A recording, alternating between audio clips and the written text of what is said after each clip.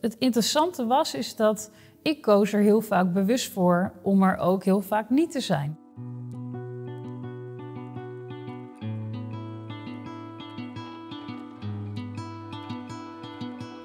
Ja, dat is natuurlijk ook een hele goede vraag. Maar de grootste uitdaging vind ik, denk ik, eh, de emoties. De gevoelens waar je toch tegenaan loopt. Je volwaardig voelen. Toch jezelf ook niet wegcijferen ten opzichte van bijvoorbeeld een biomoeder. Dat je niet haar plaatsen in mag nemen. Ja, en ook gewoon een stukje erbij horen. Als, als volwaardig gezien worden. Gewoon als persoon. Dat je toch altijd het gevoel hebt van ja, maar jij bent niet de biomoeder. Weet je, zo kijken mensen ook altijd nog wel een beetje naaien. En zeker in de beginjaren. Ja, dat zal ik wel even met de moeder van de meiden afstemmen. En dan denk ik van ja, maar dat kan ook met mij. Want ze zijn nu bij ons en dat is onze week. Ja, dat is nog wel eens een, uh, een worsteling. Ja, ik heb de afgelopen uh, jaren en nog steeds soms echt gezocht naar wat is nou mijn rol in dit gezin. Ik hou ook heel erg van de kinderen. En tegelijkertijd um, ja, is het ook, kan je niet zeg maar de rol van de ouder overnemen, want die zijn er. Dat wil ik ook helemaal niet. Ik besef me dat, uh, dat, dat de ouders zijn primair verantwoordelijk en ik ben er ook. Dus waar, uh, waar, ja, waar, waar ligt die grens? Waar, ja, waar, ja, goh. Nou, met dat ik het zeg, vind ik het ook best lastig te vertellen omdat het dus heel lastig is waar zeg maar, die rol als bonusmoeder ophoudt. Omdat er ook twee, ja, er zijn gewoon twee ouders, zij zijn ook primair verantwoordelijk. Je staat nooit op nummer één. De kinderen staan op nummer één. En daar moet je wel mee kunnen dealen. En kinderen, daar gebeuren onverwachte dingen mee. Ze kunnen in één keer uh, ziek worden, er kan iets op school gebeurd uh, zijn, uh, er kan iets zijn waardoor in één keer je partner iets moet regelen waardoor hij niet met jou kan zijn niet dat dat nou de wekelijkse kost is, maar daar moet je wel mee, mee om kunnen gaan als partner. En dan ook echt je verplaatsen in, ja, dit is nu waar hij voor moet gaan. Ik noem het de balans. En de balans tussen ik ben niet eerste lijns verantwoordelijk voor de opvoeding, voor als ze ziek zijn, ze van huis moeten, van school. En aan de andere kant, je hebt een gezinsleven samen thuis. Je deelt heel veel met elkaar. Uh, je voedt ze toch samen op.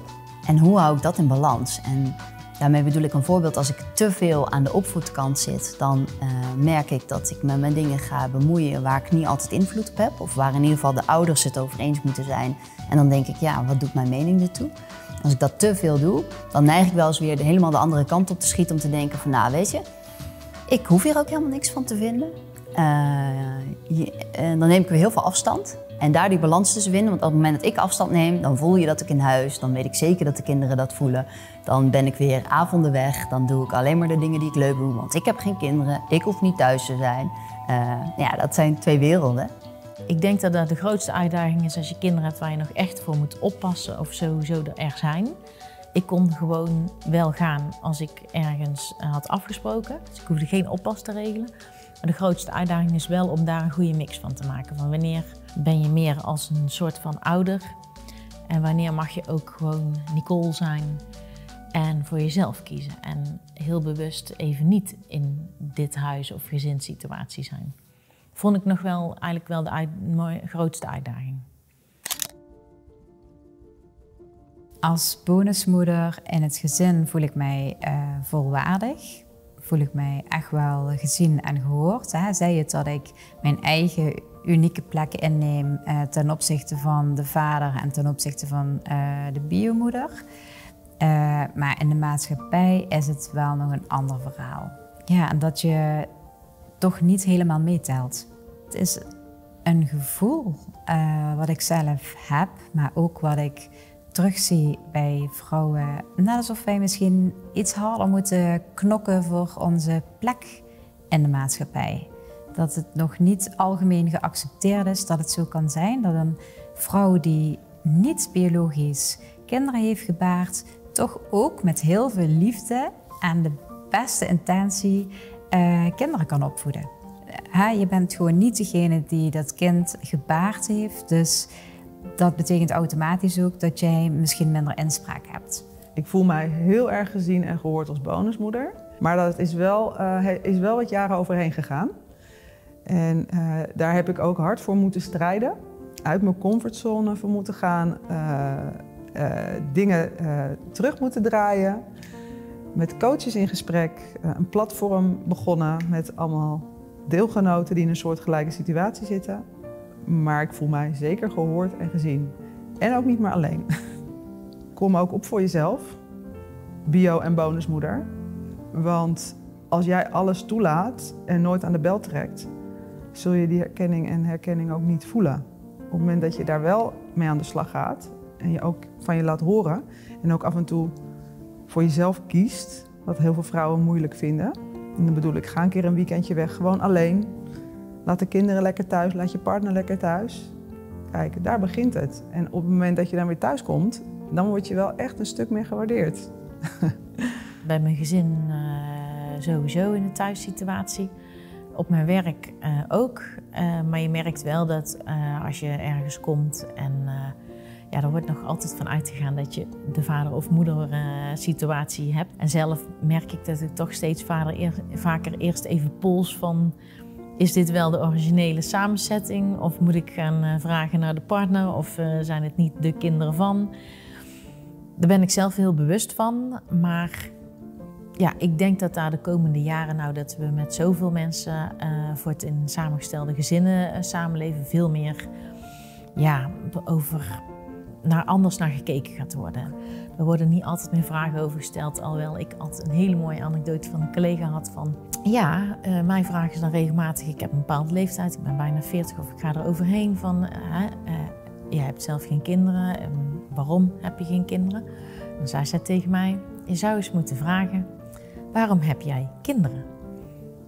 En toen ben ik zelf ook na gaan denken van ja, dat is een hele goeie.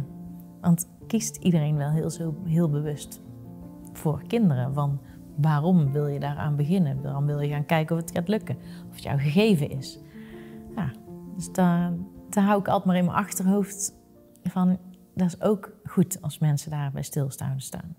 Dus ik denk in deze maatschappij dat dat ook vaker gaat gebeuren.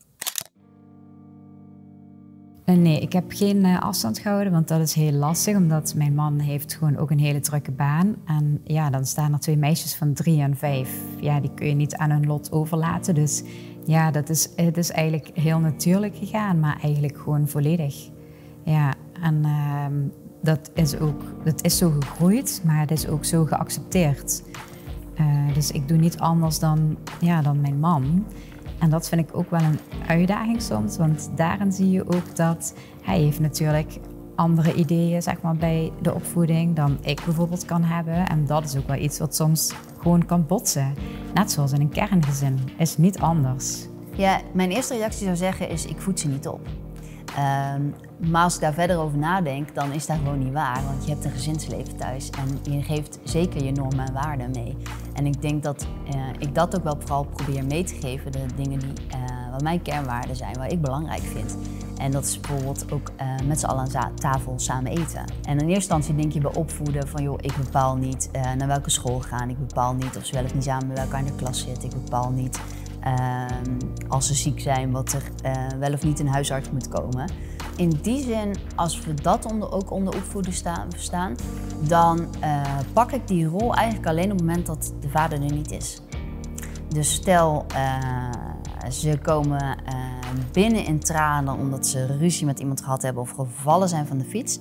En als de papa er is, dan is het als eerste, dan komen ze ook binnen en dan nou, brullend, papa, papa. Papa, dat wordt tien keer per dag genoemd aan tafel. Dus papa reageert. Op het moment dat papa er niet is, dat weten ze, dan vragen ze ook niet naar papa. En dan kan ik die rol prima vervullen. Dan ben ik degene die ze troost. Uh, en dan ben ik altijd uh, de liefste moeder op dat moment die kan bedenken. Maar als de vader er is, dan vervul ik die rol op dat moment niet. Het, het, interessante was is dat ik koos er heel vaak bewust voor om er ook heel vaak niet te zijn. Dat ik in Haarlem zat en zij zaten in Amstelveen. En um, nou, dan konden zij met elkaar zijn. Want ik had ook gelezen, dat is belangrijk, dat, dat, dat een vader dan tijd heeft met zijn kinderen. En dat jij daar vooral niet altijd maar bij moet zijn. En wat gebeurde er op zulke momenten, op zulke uitjes, dat ze naar het zwembad gingen bijvoorbeeld dan zeiden ze van waar is Marlies nou, weet je wel? Van waarom is zij er niet bij? Nou, dat bijvoorbeeld. En toen gaf hij dat terug. En eh, als ik dan mee was, dan vonden ze dat ook ontzettend leuk.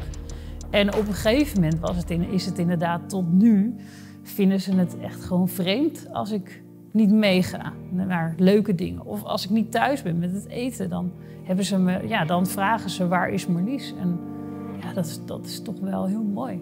Ja, dat is echt heel mooi.